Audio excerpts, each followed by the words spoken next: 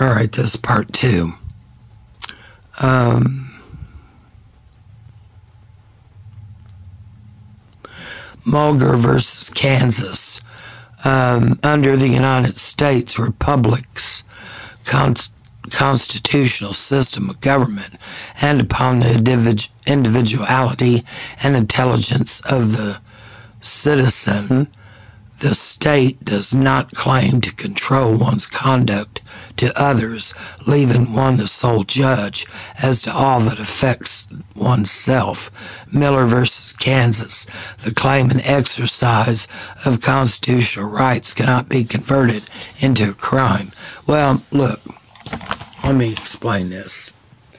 The Constitution was not formed to give you any rights it was actually devised to prevent the government from infringing on your common law rights, which are given by the Father Almighty. That's the Ten Maxims. Now, the Constitution has common law written in it. That is English law and Roman law. That has nothing to do, nor is it applicable to an American state national. All right? All right, back to this. Um, Miller versus Kansas, the claim and exercise of Constitution. Oh, well, whatever. Tired of reading that thing about the Constitution.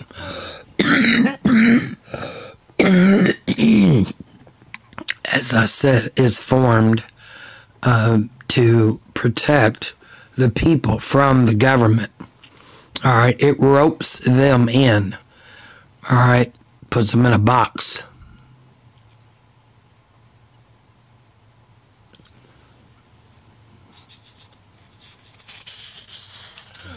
All right, so much for this document, but there are several here that was sent to them to let them know they have no jurisdiction. This is sent to the judge, judges, both of them, Misty Miller and, um, oh jeez, what was that other judge?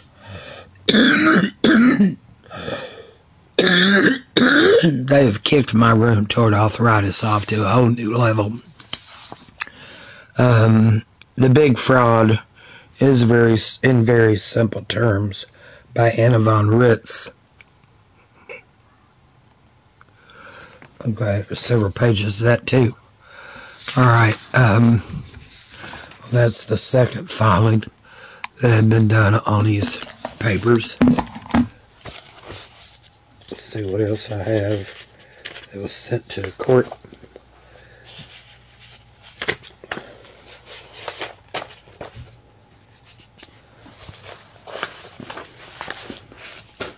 All right. Appearing specially, not generally, I'm going to sit this camera down, it's too heavy.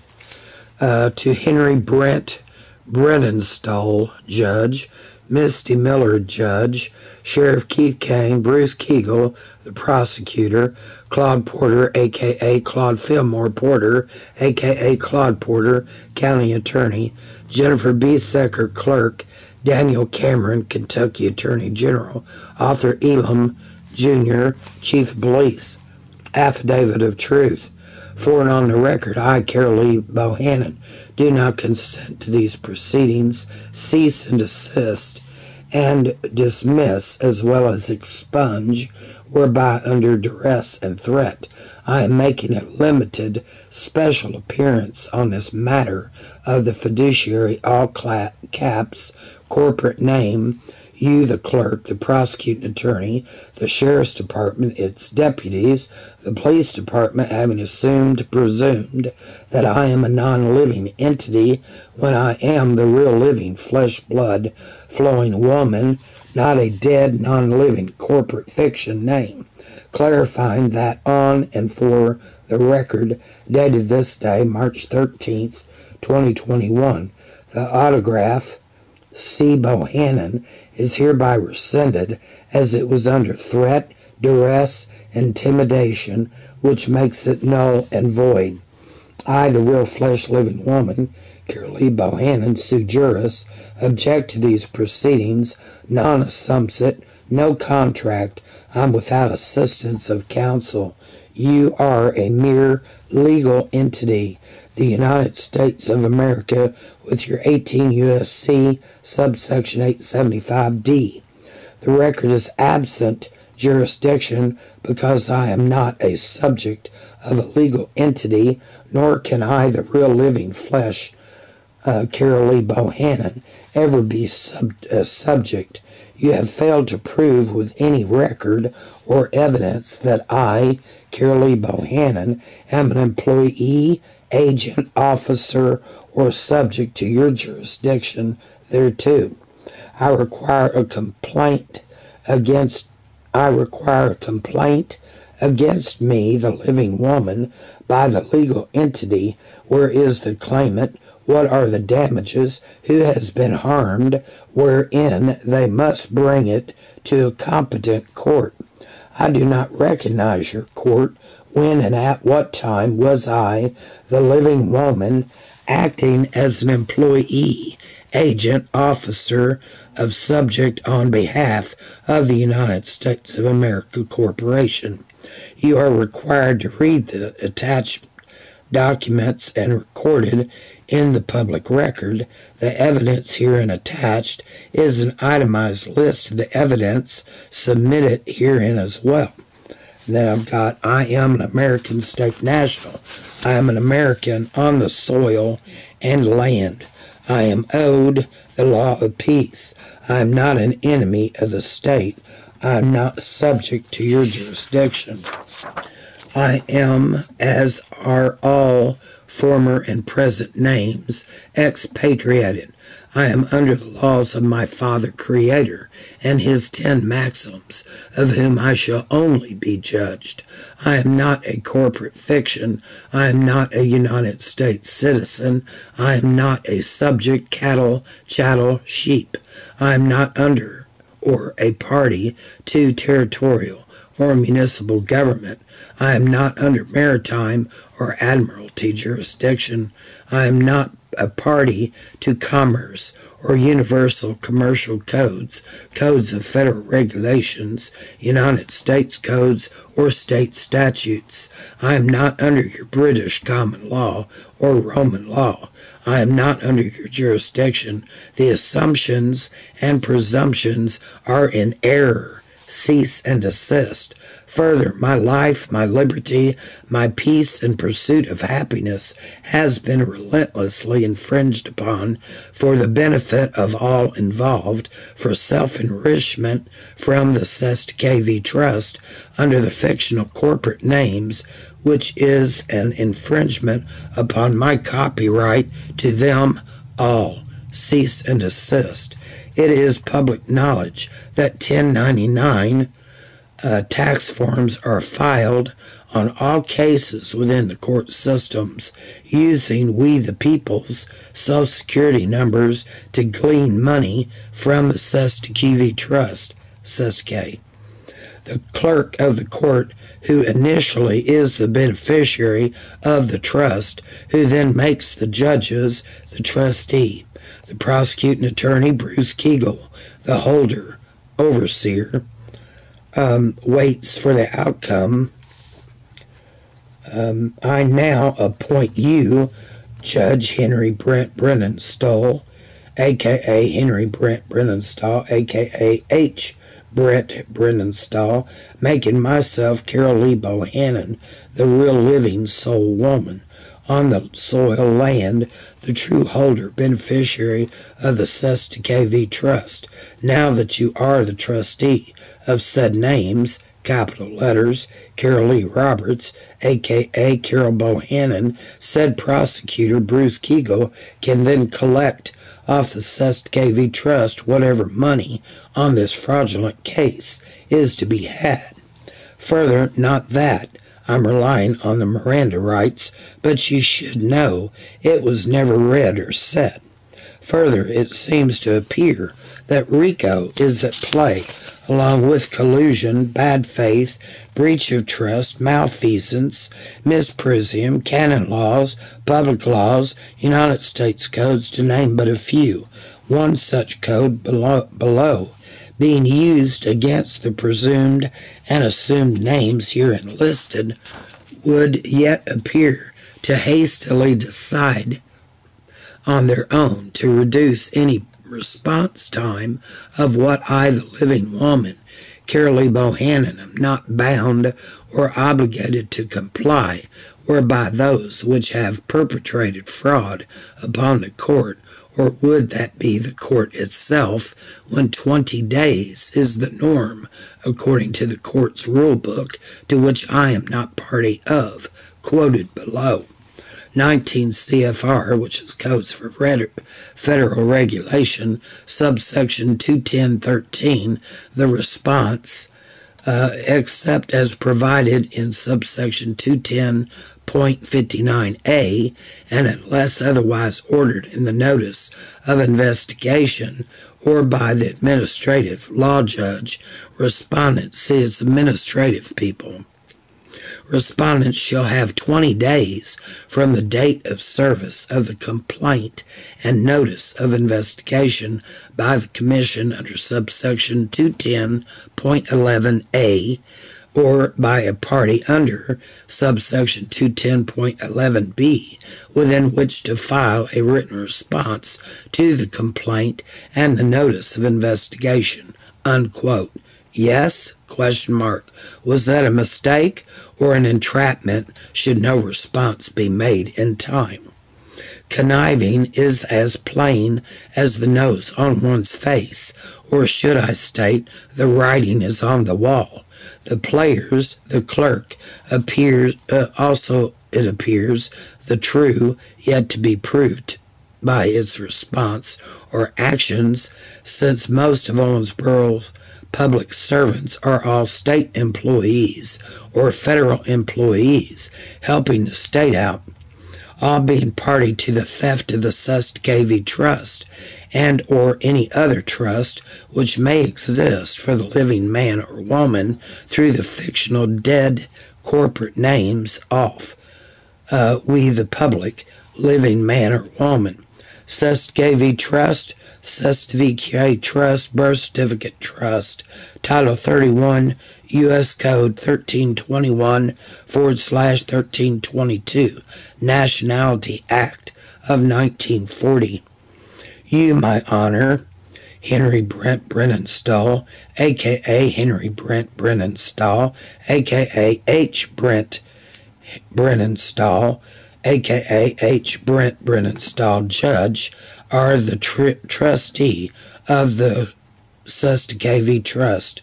Jennifer Beesecker, aka Jennifer Beesecker, capital letters, clerk, is the administrator of the CQV trust when the truth is I, Carol L. Lee Bohannon, the living woman, am the authorized administrator, executor, beneficiary to the Sust Trust.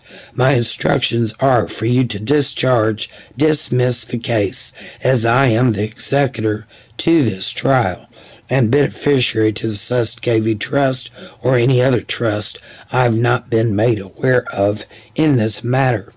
Should you both fail to do so, you will be in dishonor in your role and breach the trust, the highest crime in trust law. This is grounds for immediate termination of responsibilities. You, Judge Henry Brent Brennenstuhl, must have consent from both parties, which I, the living woman, Carolee Bohannon, will never give consent. Wherefore, without consent, personam and subject matter jurisdiction, you cannot act or access the Cestui Que Vie Trust. Wherefore, again, my instructions are for you and the clerk to discharge and dismiss the case with prejudice. Prosecutor Bruce Kuegel, I do not consent to be in surety or guarantor, which is a condition and obligation for these proceedings. It's not me. In addition, I demand the bond be divulged immediately, brought forward and sent to me, so I can see who will indemnify me since I have been damaged. The registration of live births in America and throughout the former British Empire, most of Europe and Japan, is used not to simply record the birth of babies, but to name commercial vessels after those babies. Those pro- these proxy entities may be variously constructed as estate trusts, foreign situs trusts, or even public transmitting utilities. The creators of these incorporated entities named after living children, uh, it should be boys and girls, then operate these corporations and accrue debts that they false charge against the living people using the deceitful similar name as a means to defraud the victims. This is a bunco crime known as pers- personage knowingly mistaking on purpose a living man for a corporation using the same or similar name for example, misleading a man named James Clarence Penney for the retail department store doing business as J.C. Penney. The Corley crime routinely practiced by attorneys and barristers is known as barratry. Knowingly bringing charges against this corporate proxies as if they were the same as the living people they are named after, and addressing those same people as defendants in civil and criminal actions. Certificate, noun, noun Middle English certificate.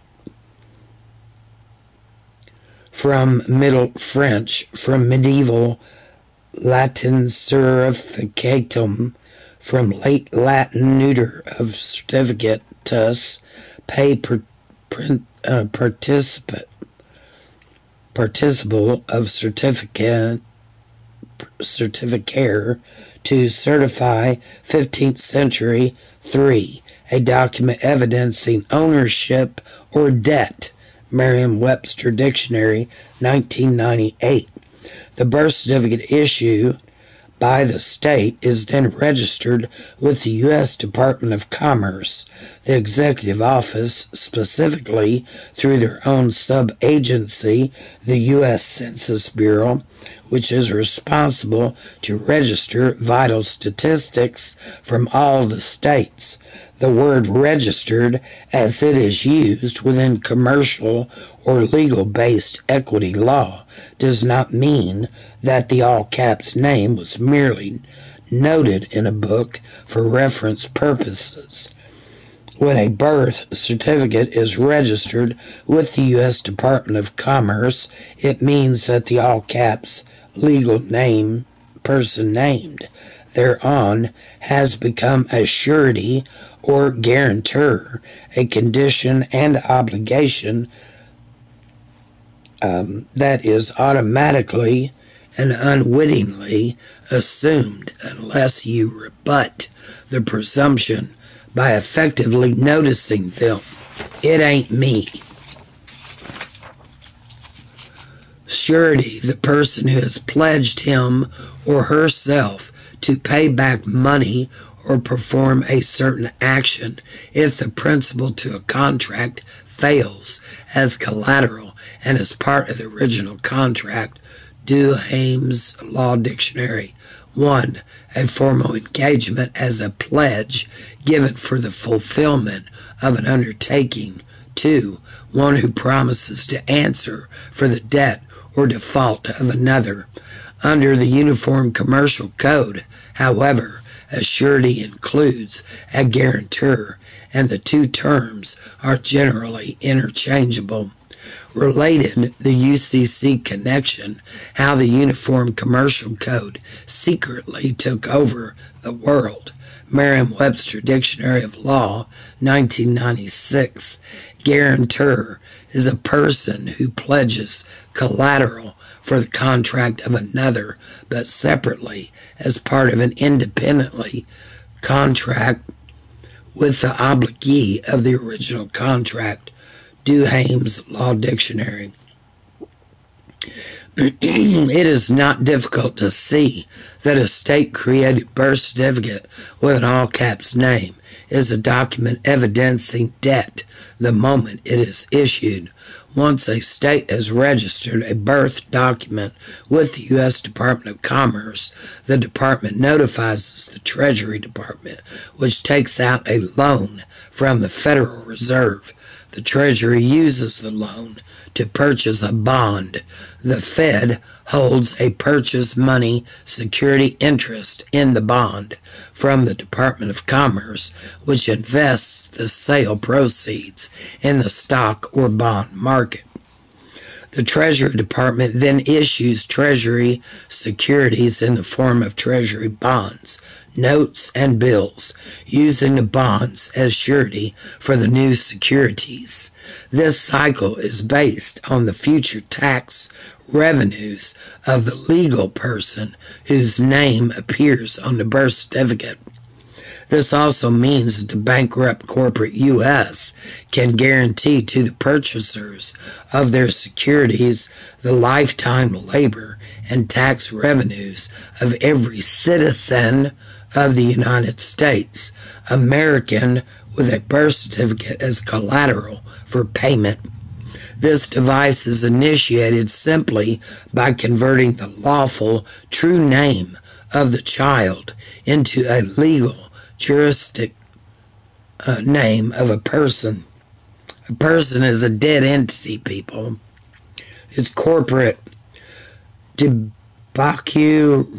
potentinia pars prini pium est. The por- uh, principal part of everything is in the beginning. Well begun is half done. Legally, you are considered to be a slave or indentured servant to the various federal, state, and local governments via your state issued and state created birth certificate in the name of your all caps person. Birth certificates are issued so that the issuer can claim exclusive title to the legal person created thereby. This is further compounded when one voluntarily obtains a driver's license or a social security account number. The state even owns your personal and private life through your state issued marriage license certificate issued in the all caps names. You have no rights in birth, marriage, or even death. The state holds title to all legal persons. The state creates via birth certificates until the rightful owner, i.e., you, reclaim, redeem it by becoming the holder in due course of the instrument. Well, see, that's what all those papers I did uh, does. I reclaimed it. The daggone driver's license, state issued license in the all caps name, is fiction and it's been null and void for over a year and a half. All right, and this pic shows a registration of a record of birth, which would tend to support the claims about the BC in the above article. Why the heck would a record of birth need to be registered?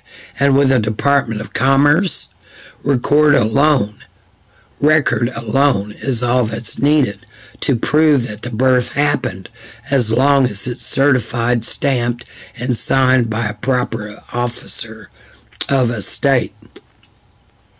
All right, then arraignments. Um, I ended up putting both cases that they have on the all caps name in this document documents that was sent to them Okay. Uh, Clerk Jennifer Beesecker, a message to her and Sheriff Keith Cain. All clerks under penalty of 18 U.S.C. subsection 2076 law of the land are to file and not to refuse or neglect to make or forward any report, certificate, statement, or document from the common law grand jury, and all judges are to act upon them as required by law.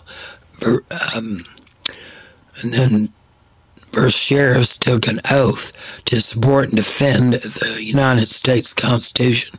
Consequently, as per Article 6, Clause 2, the, um, or is that 4? I forget what that, you know, V1. I'm not good on that stuff uh, law of the United States are to be obeyed.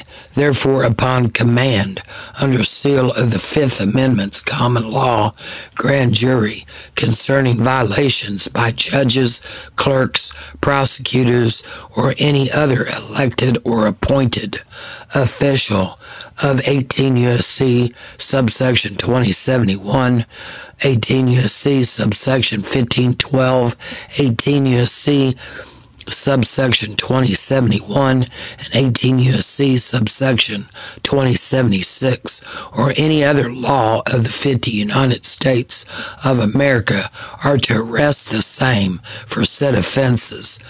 Um, should should the sheriff fail to perform his duties upon command under seal of the Fifth Amendment common law grand jury concerning said violations, the United States Marshal shall arrest the sheriff, and the undersheriff shall perform said duties in the sheriff's stead.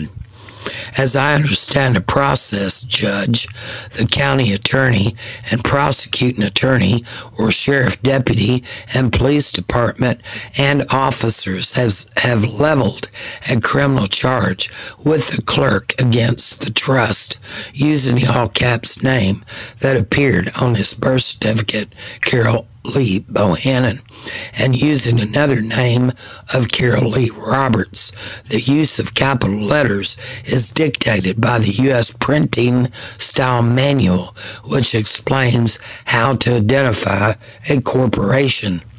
The clerk, who is the administrator,